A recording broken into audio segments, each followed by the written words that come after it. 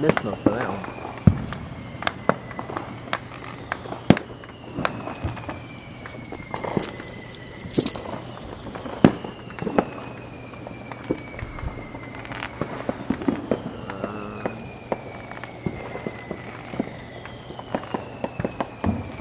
Alrighty, well I'm gonna um, take a break for now, transfer some video off and other thing, and I'm gonna free up some of the time on this cam, so make sure I have plenty, so here we go.